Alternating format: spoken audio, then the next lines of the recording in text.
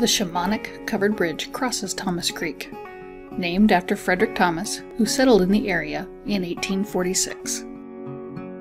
Built in 1966, it is the only red bridge in the area and is the youngest wooden covered bridge in Linn County. This is the fifth bridge built on this site.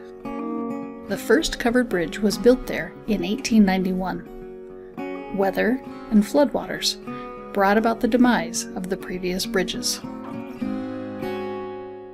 The current bridge is 130 feet in length. It has the old style portal design and louvered windows. No other bridge in the area has these features. This picturesque bridge is named after the Shimanek family who lived in the community near the bridge in the early 1900s.